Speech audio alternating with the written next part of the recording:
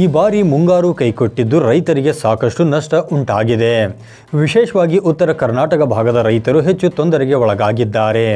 ಹೀಗಾಗಿ ಸರ್ಕಾರ ಈ ಕೂಡಲೇ ಬರ ಘೋಷಣೆ ಮಾಡಿ ಬೆಳೆ ನಷ್ಟಕ್ಕೆ ಪರಿಹಾರ ನೀಡಬೇಕೆಂದು ಆಗ್ರಹಿಸಿ ಭಾರತೀಯ ಕಿಸಾನ್ ಸಂಘದ ಕರ್ನಾಟಕ ಪ್ರದೇಶ ಉತ್ತರ ಪ್ರಾಂತ್ಯದ ಸದಸ್ಯರು ಧಾರವಾಡದಲ್ಲಿಂದು ಪ್ರತಿಭಟನೆ ನಡೆಸಿದರು. ಜಿಲ್ಲಾಧಿಕಾರಿ ಕಚೇರಿ ಎದುರು ಪ್ರತಿಭಟನೆ ನಡೆಸಿದ ಅವರು, ರೈತರ ಕುರಿತಾಗಿ ನಿಷ್ಕಾಳಜಿ ವಹಿಸಿರುವ ರೈತ ವಿರೋಧಿ ನೀತಿಗಳನ್ನು ಅನುಸರಿಸುತ್ತಿರುವ ಸರ್ಕಾರಕ್ಕೆ ಧಿಕ್ಕಾರ ಕೂಗಿ ತಮ್ಮ ಆಕ್ರೋಶವನ್ನು ಹೊರಹಾಕಿದರು ಪರಿಹಾರ ನಷ್ಟ ಪರಿಹಾರ ಬೆಳೆ ನಷ್ಟ ಪರಿಹಾರ ಈ ವೇಳೆ ಮಾತನಾಡಿದ ಭಾರತೀಯ ಕಿಸಾನ್ ಸಂಘದ ರಾಜ್ಯ ಕಾರ್ಯದರ್ಶಿ ಪುಟ್ಟಸ್ವಾಮಿಯವರು ಹಾಗೂ ಭಾರತೀಯ ಕಿಸಾನ್ ಸಂಘದ ಮುಖ್ಯ ಕಾರ್ಯದರ್ಶಿ ಬಸವರಾಜ್ ಅವರು ಮುಂಗಾರು ಕೈಕೊಟ್ಟ ಹಿನ್ನೆಲೆ ರೈತರು ಸಂಕಷ್ಟಕ್ಕೆ ಸಿಲುಕಿದ್ದಾರೆ. ಸರ್ಕಾರ ಗ್ಯಾರಂಟಿಗಳ ಭರಾಟಿಯಲ್ಲಿ ಬೇರೆಲ್ಲವನ್ನ ಮರೆತಿದೆ. ಬೆಳೆ ಹಾನಿಯಿಂದಾಗಿ ರೈತ ಸಂಕಷ್ಟದಲ್ಲಿದ್ದರೂ ಅನ್ನದಾತನ ನೆರವಿಗೆ ಬರುತ್ತಿಲ್ಲ. ಹೀಗಾಗಿ ರೈತ ಈಗ ಬೀದಿಗಿಳಿಯಬೇಕಾದ ಪರಿಸ್ಥಿತಿ ನಿರ್ಮಾಣವಾಗಿದೆ ಎಂದು ಆಕ್ರೋಶ ವ್ಯಕ್ತಪಡಿಸಿದರು. ನಾವು ಇವತ್ತು ಯಾಕೆ ಪ್ರತಿಭಟನೆ ಮಾಡ್ತಾ ಇದ್ವಿ ಅಂತಂದ್ರೆ, ಕಳೆದ ಮೂ, ಎರಡೂವರೆ ತಿಂಗಳಿಂದ ರೋಹಿಣಿ ಮಳೆ ಇರ್ಬೋದು, ಮೃಗಶಿರ ಮಳೆ ಇರ್ಬೋದು, ಬರಬೇಕಾಗಿತ್ತು, ಸಕಾಲಕ್ಕೆ ಬರದೇ ಇರತಕ್ಕಂಥ ಕಾರಣದಿಂದ ಇಡೀ ಉತ್ತರ ಕರ್ನಾಟಕದ ಎಲ್ಲ ಜಿಲ್ಲೆಗಳಲ್ಲೂ ಶೇಕಡ ಎಂಬತ್ತರಷ್ಟು ಇವತ್ತು ಬರಗಾಲ ಪರಿಸ್ಥಿತಿ ಬಂದಿದೆ.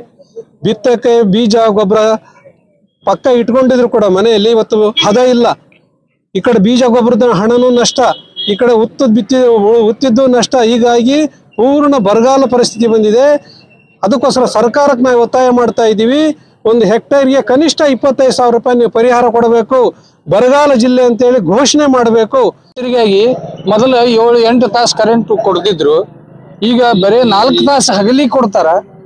ರಾತ್ರಿ ಮೂರು ತಾಸು ಕೊಡ್ತೇವೆ ಅಂತಾರ. ರಾತ್ರಿ ಮೂರು ತಾಸು ಕೊಟ್ರ ಅಲ್ಲಿ ಗಿಡ ಗಂಪಡಿ ಬುಡಕ್ ಜಾಲ್ಯಾಗ ಕಂಟ್ಯಾಗ ನಾವು ನೀರು ಹೆಂಗ್ ಹಾಸ್ಬೇಕು, ಹುಳ ಉಪ್ಪಡಿ ಕಡಿಸ್ಕೊಂಡು ಸಾಯ್ಬೇಕಾ? ಈಗಿನ ಸರ್ಕಾರ ಹಿಂಗ ಇದೆ ನಾವು ಪೂರ್ತಿ ಬರಗಾಲ ಬಿದ್ದು ಮುಂಗಾರಿ ಪೂರ್ ಎಲ್ಲ ಬೆಳೆಗಳು ನಾಶ ಆಗಿದ್ದವು. ಇದನ್ನು ಸರ್ಕಾರಕ್ಕೆ ಯಾಕೆ ಗೊತ್ತಾಗವಲ್ದು? ತಮ್ಮ ಹೋಟಿ ನಾಶಿಗಾಗಿ ಸೌಲಭ್ಯಕ್ಕೆ ಓಡಾಡ್ತಾರೆ ಹೊರತಾಗಿ ರೈತರನ್ನ ಯಾಕೂ ಹೊಳ್ಳಿ ನೋಡೋದಿಲ್ಲ. ರೈತ ದೇಶದ ಬೆನ್ನೆಲುಬು ಅಂತಾರ. ರೈತನ ಬೆನ್ನೆಲುಬು ಗೋಮಾತೆ ಇದ್ರೂ ಗೋಮಾತೆ ಹರಾಜ್ ಆಗಿ ಹೋಯ್ತು ರೈತ ಬೀದಿ ಪಾಲಾಗಿ ಹೋದ. ಆದ್ರೂ ಸರ್ಕಾರ ಕಣ್ಣು ಮುಚ್ಕೊಂಡು ಕುಂತತೋ, ಏನು ನಿದ್ದೆ ಮಾಡ್ತತೋ? ಅಲ್ಲದೆ ಸರ್ಕಾರ ಕೂಡಲೇ ಎಚ್ಚೆತ್ತುಕೊಳ್ಳದಿದ್ದಲ್ಲಿ ಉಗ್ರ ಹೋರಾಟ ನಡೆಸಬೇಕಾಗುತ್ತದೆ ಎಂದು ಸಹ ರೈತ ಮುಖಂಡರು ಈ ವೇಳೆ ಸರ್ಕಾರಕ್ಕೆ ಎಚ್ಚರಿಕೆ ನೀಡಿದರು.